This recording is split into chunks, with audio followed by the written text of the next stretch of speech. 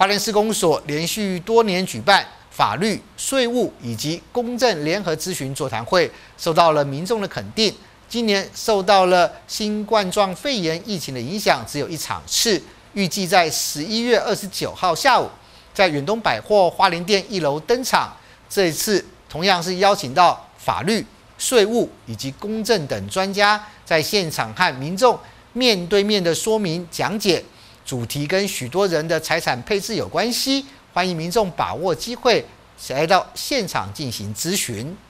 市长魏家全表示，花莲市公所原本每年会举办两场的联合咨询座谈会，今年受肺炎疫情影响，缩减只有一个场次。十一月二十九号将在远东百货花莲店一楼来举办，欢迎民众踊跃参加。十一月二十九号在远东百货，呃，在一点半的时候会举办相关的法律咨询座谈。那主要的部分是因为，因我们超高龄社会即将来临，尤其在花莲地区哈，那今年。满六十五岁以上的人口已经大幅增加。其实对我们来讲，未来养儿防老的观念或财产继承的观念，跟很多很多的一个财税方面跟法律咨询的方面，都有很多民众有产生出一些疑问。那还有一些呃咨询的部分，那我们想要借由这样的机会，跟我们相关的法律人士还有财税人士一起来做联合的一个法律咨询座谈，让更多民众清楚明白自己的权利跟义务，还有未来能够。呃，预防的一些财产分配所产生出来的问题，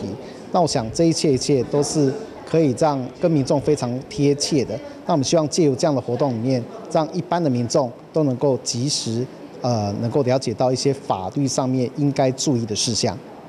这次座谈会主题是“我的将来如何自己做好安排”，将由律师来主讲财产与分配的法律问题和策略，谈继承的规范、法定继承还有遗嘱。会计师主讲富不过三代财富传承的工具及案例介绍，还有公证人主讲只想让你监护我。谈议定监护制度，整个活动是免费的，不需要报名，自由入席。现场还有精美小礼物，提问就可以获得赠送，数量有限，送完为止。欢迎民众十一月二十九号下午一点半开始来到远东百货花莲店，一起来参加这一场联合咨询座谈会。